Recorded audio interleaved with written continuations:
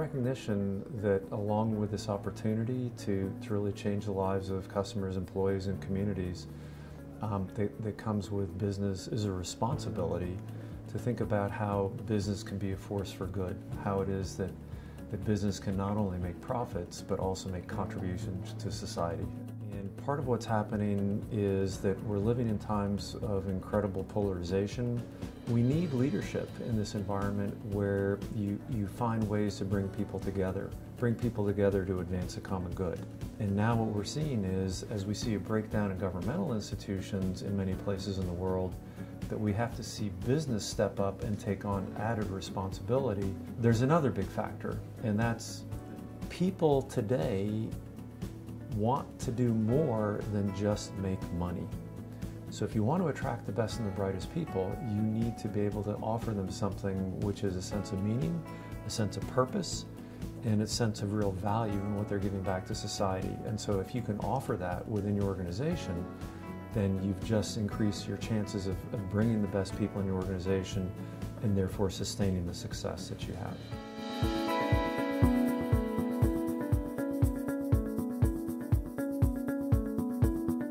So you've seen business step up around issues around racial divides. You've seen business step up around issues of immigration, which certainly you've seen not just in the U.S. but in, with Brexit, and you've seen them uh, you've seen them step up around issues of sexual identity and making sure that people have the, the rights uh, uh, in those areas.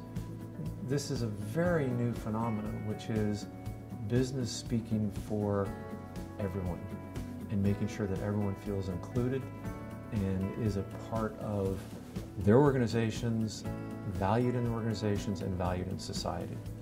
These are very, very complicated challenges for CEOs because they're now expected to provide a, moral voice at, a, at a point in time where those voices are lacking, where we're not seeing the leadership that we need. And these are very challenging issues where business leaders don't have experience.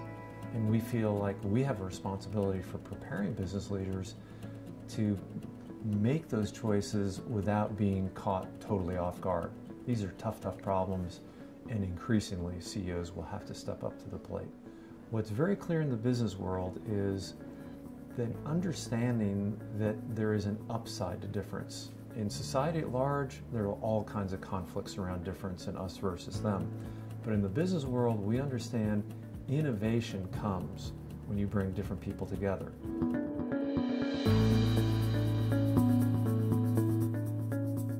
We have to show that in a world that's increasingly polarized, that the center can hold.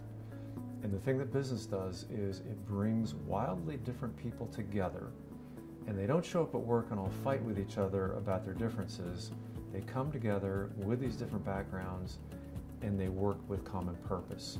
And so this, this sense of responsibility for society, I think is a big change. And, and it's one where what you're seeing is a lot of a lot of business leaders are stepping up to that challenge very successfully.